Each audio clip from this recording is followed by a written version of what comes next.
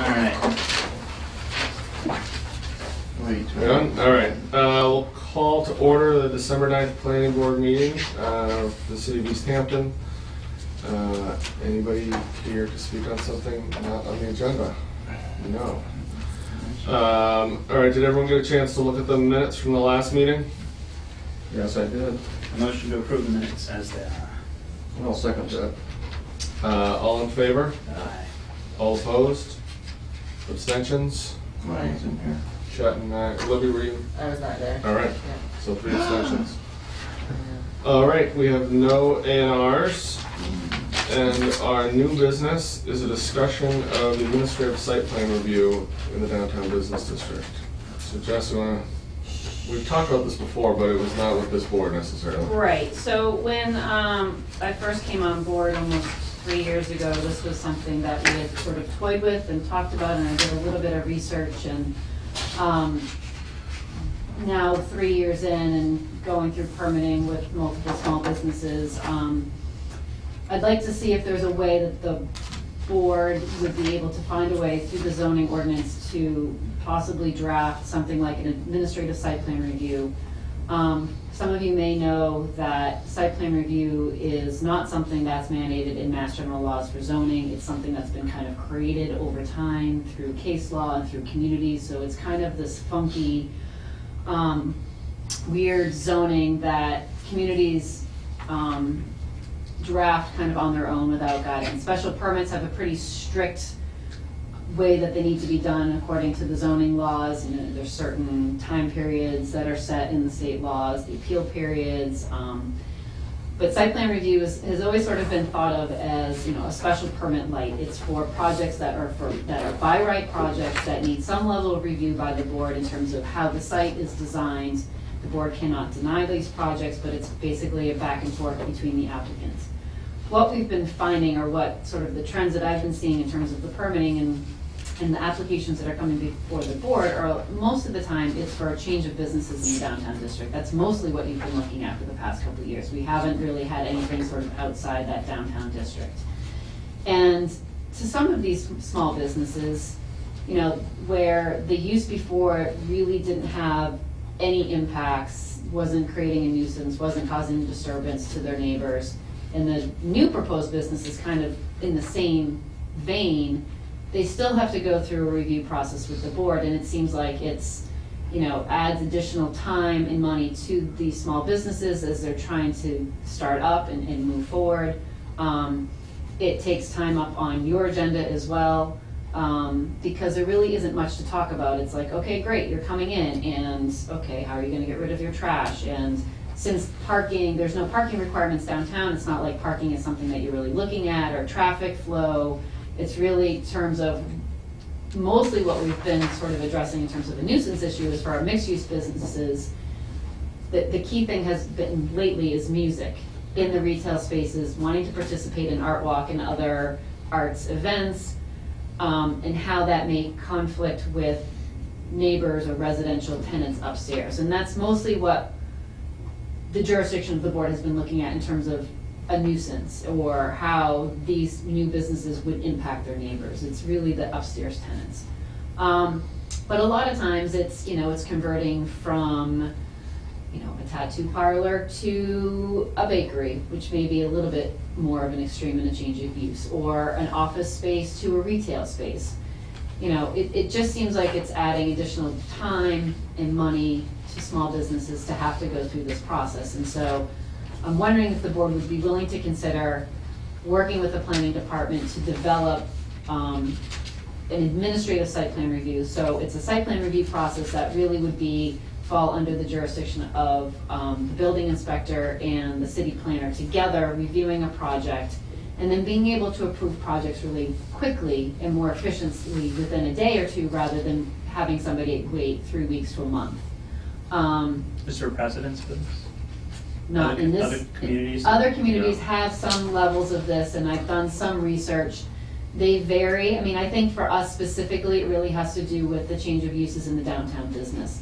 Other communities have it where if there's, you know, parking is, uh, you know, if the parking changes from less than five spaces, or if there's an addition of less than two hundred square feet. There, you know, there's variations, like I said, site plan review doesn't have any mass general laws to guide it, so it's always been sort of a, a, a creation of the community and what they need it for. Some communities have what's called a minor site plan review and a major site plan review, and they sort of break, tier it up in that different way. Um, Springfield recently just adopted new zoning code, and they have an administrative site plan review process. Is there a difference between review, excuse me, review and approval?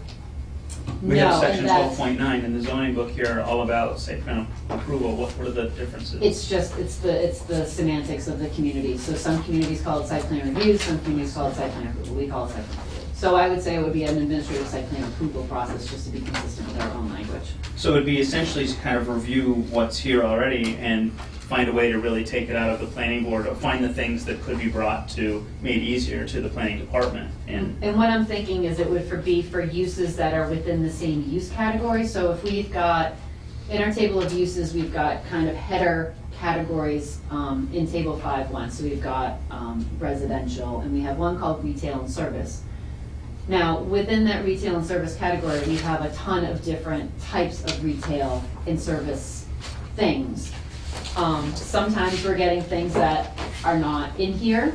S- Sometimes we're looking for categories. I mean, that's, when we talk about streamlined permitting at some point in form-based code, which is a type of zoning uh, that a lot of communities are starting to move towards, um, it basically takes out all of these detailed different uses and kind of just makes it as a category and says if you've got a retail use, this is the approval process. If you have a service use, this is the approval process, rather than having all of these really random things, because you're never gonna catch everything. Yeah, There's always gonna be something missing.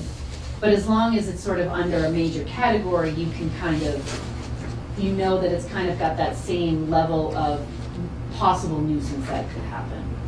So, um, I'd say that maybe the caveat is that if the building inspector and myself feel that in this administrative approval process, we would feel more comfortable to kick it to the planning board because we feel like it, it, it's got a higher level of, of changes. We want to have that flexibility to do so, and I would Yeah. want the So board that to would be be able to have. considered major, minor.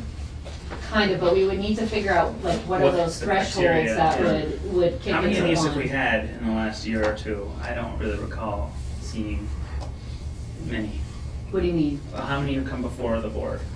How many permits? I Site mean, plan approvals reviews? quite a few, I mean, we Yeah, had we had quite a eventually, few, like, uh, that's Well, How many are mostly we talking about? Uh, like eight to ten, maybe? Eight to ten, okay. Yeah. I know But- I have heard from at least one local business owner who said that the delay in opening due to the site plan review process, you know, put them teetering on the edge financially by the time they were finally able to open. So I think for small business owners getting off the ground, that time delay can definitely cost you. And, But- and I'd say sort of the flip side, because I know that there have been, I know specifically Yeah. which businesses there are. Yeah. Some folks are coming in completely unprepared as well, and so Mhm. we've Yeah, been working, we're, we're starting to partner with the chamber and the new chamber executive director to come up with a new small biz, a first-time small business owner workshops, um, similar to like a first-time home buyer, so that we'll have, you know, an attorney, a real estate agent, an insurance person, planning department, fire, building, health agent, so somebody can come in and say, or we could, you know, have an idea as a panel and say, this is sort of what's under my jurisdiction. If you think you're gonna serve food in your business, these are all the things you're gonna start triggering, and you need to think about that in your business plan, rather than, than coming in with an unclear business plan saying, we wanna open this type of business, and not really understanding what the implications of what your business means in terms of the permitting, and that's sort of the other side that I've seen. Oh, yeah. Yeah, is, is. Well, I think that's a great idea. So when we talked about this last time, though, it was a broader area because I think it was citywide, right? And mm-hmm. it was also it was more general, small projects, not just changing use. And so you think it's better to streamline it this way to sort of be downtown business, just change of use, with sort of an escape hatch that if this looks like and it's going to be one of those things with you know late night live music or something where you may need the board or a public hearing, that that would be something that you guys would want to be able to opt out. Yeah, I, I'm a little concerned about that, Jess. I mean, because the board could change the, hopefully not for at least 50 years. Your position could change. And I I don't know that, I mean, My instinct is always to streamline things for, for, for businesses, for the community. I just think that's better. But we're also sitting here, all of us, with a responsibility to uphold the city's rights and community. And looking at the criteria of conformance, there are things which I think a board should be involved in review for. I, I think it's possible to review these, but I worry that maybe we're, we'll be relinquishing uh, something that uh, should be for board review. I think if it's minor stuff and it's just a change of view, so you're literally, that there's gonna be no greater impact at all on the rest of the community, other than the fact that it's gonna change from, you know, a doctor to a tattoo parlor, or something like that, that it's, Because they have things like adequate means of wetlands, watersheds, aquifers. Right, but it's downtown Yeah, but business. downtown So remember like when the tattoo parlor Yeah, place I opened up agree. in downtown business, we went down that list and we were like, none None of of these that apply. apply. There's Right, no they don't parking. apply. The, literally, the only one that applies, I think, is like the rubbish removal stuff, because you're tapping into city water, you, you know, the building exists, you can't, there's no trees on the lot, you Or with the tattoo, you've got bodily, you've got like. The hazardous waste, hazardous right, we Yeah, had that, we had that like waste, the hazardous waste and the rubbish removal, like that, that was like the only one that really applied. And the tattoo is obviously something that sort of is a little different, and so maybe because it's got the hazardous waste, it's something where Jess may decide that in this specific situation. Would you, it's in this, would you want to, as you were envisioning how this would be developed, and we'd go through it obviously, but is that one thing that would trip you off, whether it's hazardous waste, send it back to the board, or would you want a rubber stamp? I think it depends on what their answer is. I mean, I, most applicants generally will come and talk to either the building, well, this is generally how it happens. Somebody goes upstairs to get a business certificate. They can't get a sign off on a business certificate unless they comply with zoning. So they either have to get a sign off from the building inspector or myself from their business certificate that they meet the zoning or they've gone through the permitting process in order to get the business certificate. They need the business certificate so that they can file under their tax code as a business. What often happens is somebody walks in and says, I need your signature for this business certificate, and I say, I can't sign that because you haven't gone through the proper permitting approval process. And they're like, what? And said, yes, you need, this is what you need to do. Well, I wasn't prepared for that. I understand, but I cannot sign off on this until you go through the proper. Mm-hmm. So I think there's a twofold thing. I think having an educational process, working with the chamber to make sure it's clear, like, this is our process, this is what needs to happen. I think, personally, I think there's some level of responsibility on future business owners to do their research and to do their job and to understand what they need to do before they can just get a Right. business certificate. And that's, eh, but providing resources from the city to, so that people can be educated is, is one part of it. Well, that's where they, they save their money, is by doing all that, and then when they come here, we shove them out and they gotta do it all over again, so.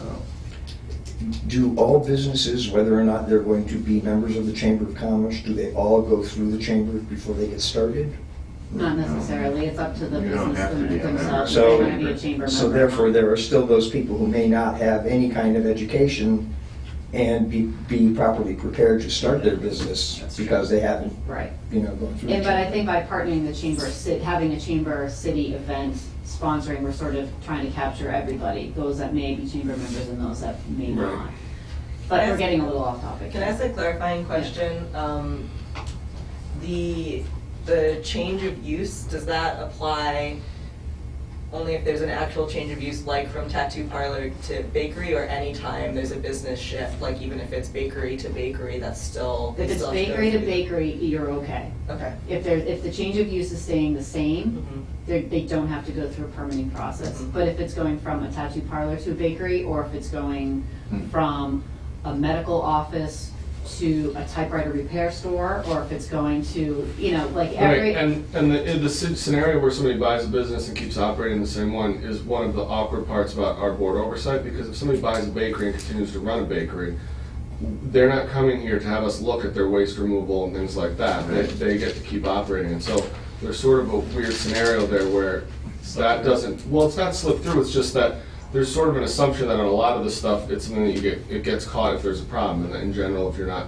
doing anything wrong, it doesn't bubble up. So I mean, I think that, I mean, I guess it would depend on how it's written and what you guys, like, wanna put together as far as a draft, but I don't, Right, and I think that we could think about this is that if we wanted to put together a framework and that if there was a reason we wanted to build off it, like at one point we were looking at green performance standards. And one of the things that we were talking about under the green performance standards was having some, or there was language in there about an administrative site plan approval process. We haven't moved forward on that, we've sort of tabled it. But if there ever uh, appeared to be a situation where we wanted to build off of that, I think we could, we could do that. But right now, in my opinion, the- what we really need it for is this downtown business mm-hmm. changes in the small business community. And I think, Jim, off of what you said, I think that's what makes me more excited about this, is that it's limited to downtown business, which eliminates a lot of the sort of stickier areas that might come up. So I think it's a good area to sort of try it out on and see how it works. I mean, it's a very narrow situation where it's just a change of use in the It has downtown potential business. benefit, but we And have I to think keep it's- our eye I, on it. I, I totally think that's true. I think it's, I mean, it's not something that we would be, you know, delegating forever. We could always opt out of it. And I think it's also something that we can review and see, you know, at the end of the year, what have you done? What were the cases? You Did know, you and just see- intimate that you would start the writing process, draft something and bring it to us? Mm-hmm. I, I intimated that. I volunteered, Jeff. That's what I thought. I Well, I would, mean, I would I- prefer to have it right than have it right. Well, that's the thing is that, I mean, I think that you and the building inspector are gonna be the ones that are gonna be dealing with this, so I'd much rather have you guys talk about what you're comfortable with. Right. And, I mean, especially because I don't think either of you are people that wanna take on more than they're comfortable with anyway, so I think that they'll be cautious in drafting it, and I think you're definitely the people to put it together. And of course, you can always have something that can come to the board on what had happened during that process. You can say, this is what is going on in the Sure. downtown business district, and this is what's saving us time and saving the applicant time. Mhm, mhm. How about an appeal process? Say, uh, you and the building inspector turns the guy down, could, could they appeal it to the whole board? That's a good idea, I think that's a Harry. great idea, Harry. Or ZBA or somebody, yeah, Right. but having some appeal process. ZBA te- typically tends to be more of the appeal board, Right, so it probably makes sense to keep that, and and they already have a fee for appeal, so it might make sense to keep keep it it in in their there. jurisdiction. Right now in there, we have like failure to act language, sixty days that automatically approves it and Yeah, I mean, We have could to still put- have all of that same stuff. I mean, we could still say that, you know, if, if we don't, uh, Springfield is actually, that, the timeline is similar to what our current site plan approval. I don't, I don't want to drag it out any longer than it absolutely has to be. I mean, I, I think I, we need easier processes overall. I'd like to have it be in such a way that the building inspector and I would set an appointment with so- an applicant, sit down, review all of the information, you know, make a determination of whether we feel comfortable approving based on what they're presenting or whether we want to kick it to a board, Cool. so. Well, and it seems to be where we're going with our downtown, is that people are buying existing Right. spaces and turning into something else, and if it's literally that, and there's a way to do it a few days after they walk in here and sit down and do it in a meeting, instead of waiting until the next board meeting and going through all this stuff. Mhm. I Right. certainly think it's worth having the planning department put something together for us to look at. Absolutely. Yeah. Great. Okay. I will Very do good. All right. Uh, The only other thing on our agenda is uh, ZBA uh, requesting comments on an application. I would suggest that we Give our usual give our response. usual What is it, take anyway? no action.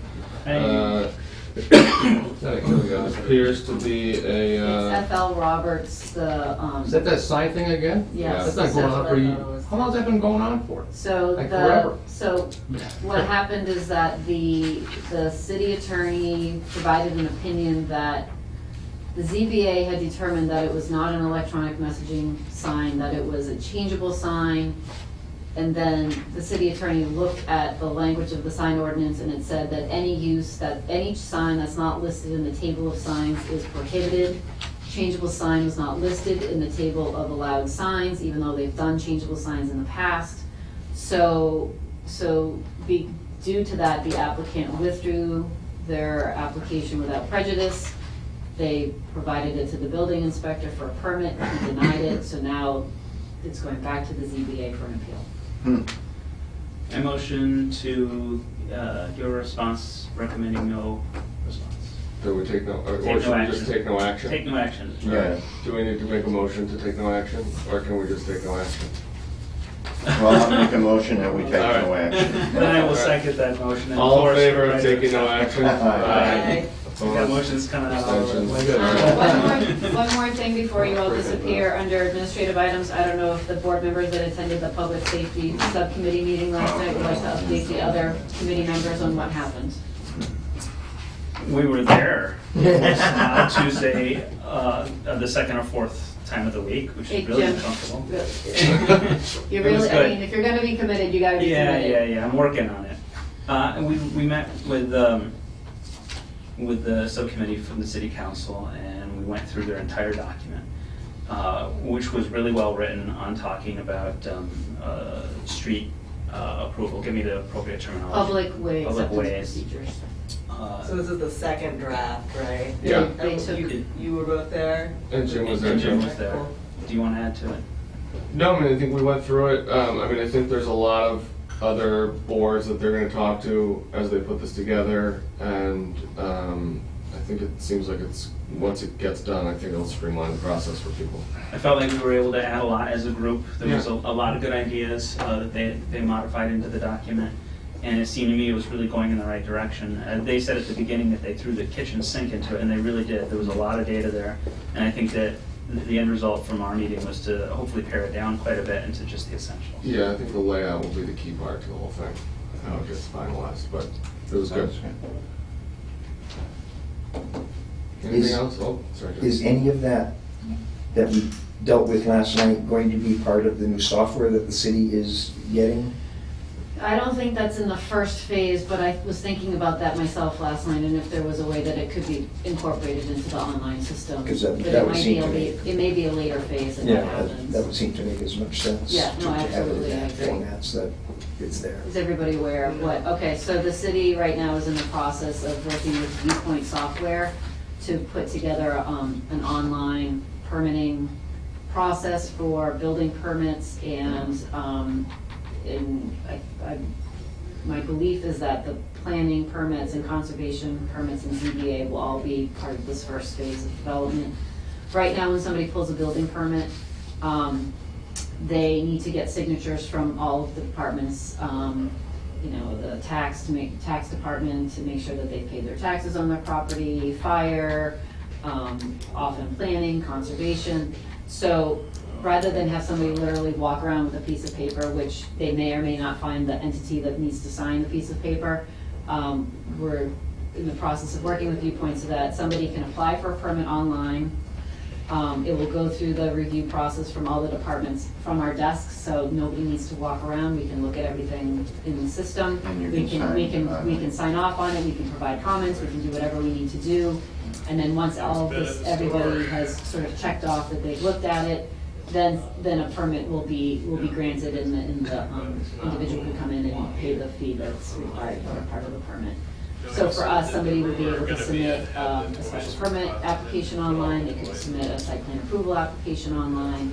Um, And again, I, when I get applications, I send it out to Health Department, Police, Fire, Conservation Commission, ZBA, Building Inspector for comment prior to when we meet. So I would be able to do the same thing and- and have the application online in the system, We'd be able to file all the decisions in the system. So when it comes to zoning enforcement, the building inspector will have a tablet out in the field. If he sees a zoning violation, he can pull up the decision right in the field. He can print out a cease and desist order right in the field from his wireless printer. What's the ETA? Um, so early, what year's coming up, twenty fifteen? Fifteen. I don't know what year it is. So early twenty fifteen, All year. Yeah. Great. so. But so So you'll this, be able to do everything from your desk. We can, but we're still, you know, we're still open here in the office too, so if somebody Right. feels more comfortable filing in Right. person, they certainly can do that as well. But it will just be able to streamline. but we're likely too late to get this public way acceptance in the first rollout of the software. Yeah, I think because of cost, we're really sort of focusing on the building department as the primary person right now Yeah, yeah, because yeah, we people should need be. to walk That's what they're around. yeah. Um, but we are gonna be able to do conservation and planning and ZBA as well within this first rollout. Excellent. Great. That'd be good. We have a hypothetical question for you, and I'm not sure how it is.